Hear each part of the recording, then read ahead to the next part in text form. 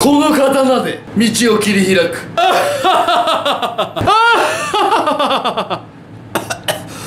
はいどうも昴生です。今日はですねそば粉のガレットを作っていきたいと思います。すごくシンプルなんですけれどもとてもね美味しいです、まあ、朝食なんかに出るともう最高ですよね、まあ、朝食で作るにはちょっとめんどくさいんですけどね。はい。はいそれでは今日はねもうめちゃくちゃ寒くてさっきまで雪降ってたりしたんですけれどもね、えー、テンションぶち上げてやっていきましょうか。はいそれでは。やっていこうか。はいそれでは材料の紹介をしていきます。3 2 1 go 豆乳無塩バター、卵、そば粉、塩、チーズ、ほうれん草、マッシュルーム、プチトマト、ベーコンスライス。以上です。はい、それでは生地を作っていきます。そば粉、塩、卵、豆乳、しっかり混ぜていきます。で、この時のコツとして、できるだけこのホイッパーをボールの底に当てながら混ぜるようにしてください。そうすることによって気泡が立ちにくくなります。しっかり混ぜましたら、ここでラップをして最低1時間冷蔵庫で寝かせていきます。ほうれん草をボイルしていきます。沸騰したお湯の中に一つまみのお塩を入れてあげます。数秒湯がきます。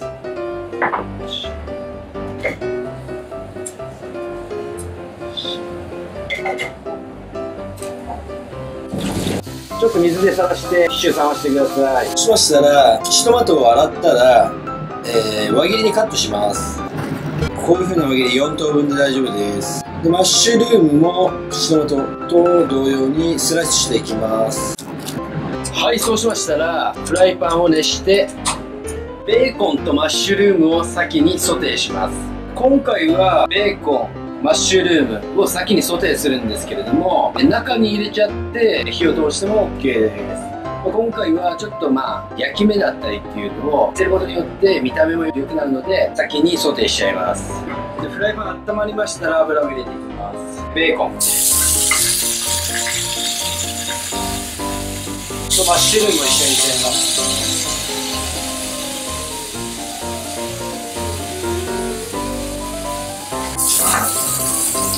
ある程度火が通りましたらここにちょっと風味付けでバターを加えます。でマッシュルームにだけ少し塩をしてください。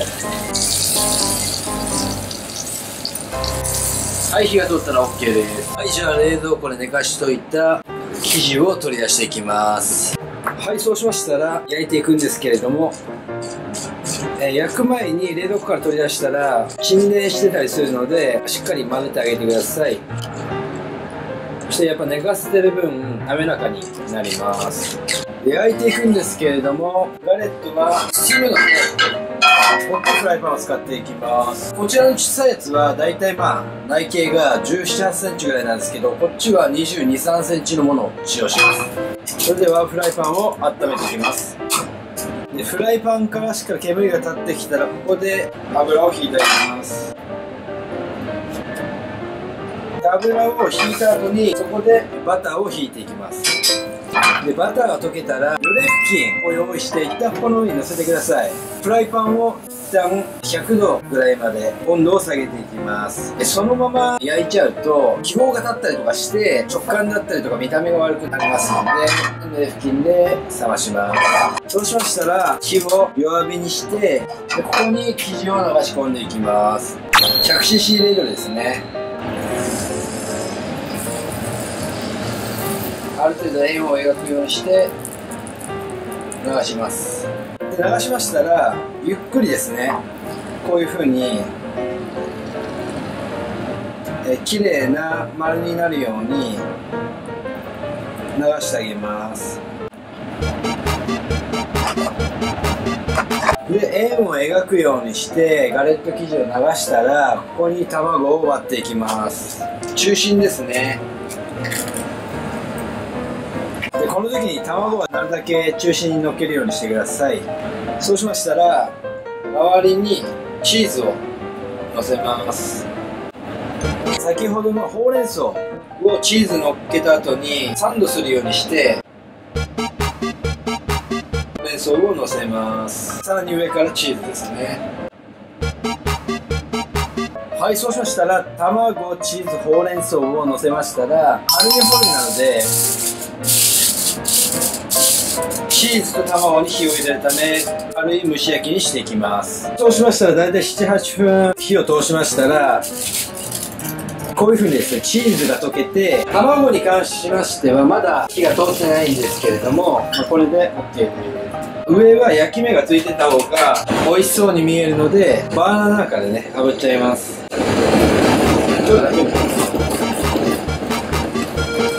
こういう風に卵は半熟になってるんですけど周りは火が入った状態になって焼き目がついて見た目が美味しそうに見えます。火を中火ぐらいですね。下のガレット生地にちょっと焼き目をつけていきます。まあ美味しそうに見えるのであと食感も良くなるのでね。最後中火してるんでまあ焦げないように気をつけてパリッとさせながら焼き目をつけていきます。はいそれでは先ほどのガレットをのせます。乗せたらパレットを折りたたんであげてください。そしたら先ほどソテーしたベーコンを盛り付けます。マッシュルームと。プチトマトですね。まあ上から書いてなかったんですけど粉チーズとかを盛り付ければちょっと見た目が映えます。で最後上からブラックペッパー。完成です。いやー食べていこう。いただきます。いやー美味しそう。チーズが固まらないうちにね。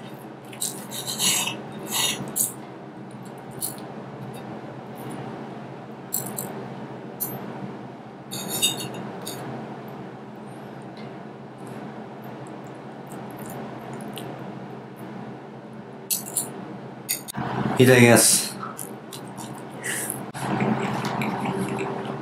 いやうんまっ。何これ。ああなんでこんなにうまいんだい？ガレット。いや、美味しいよ。はい。こんなん朝食できたらキュンシやわ。やっぱガレットと言ったらこれですよね。タンさん、乾杯。裏も焼き目こんな感じでついてます。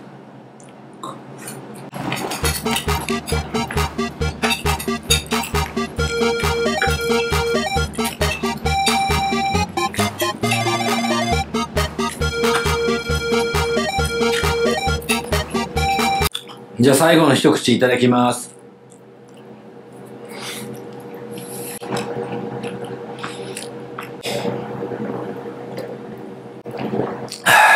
ああ、めっちゃ美味しかった。ごちそうさまでした。いや、美味しかった。最高。今日は、そば粉のガレットを作ってみたんですけども、いかがだったでしょうか？中身を変えれば、いろんなね、種類のガレットを作れるんで、いろいろ試してみてはいかがでしょうか？例えば、まあ、チョコレート、バナナ、バニラアイスとかでも合いますし、レパートリーは工夫次第でいろいろできると思うんで、ピザを作る要領でトッピングとかしてみると、またアレンジも加わって楽しいかと思われます。はい。今日もご視聴ありがとうございました。今日の動画が良かったらぜひぜひチャンネル登録よろしくお願いします。はあなんで君はそんなに美味しいんだい。バイバイ。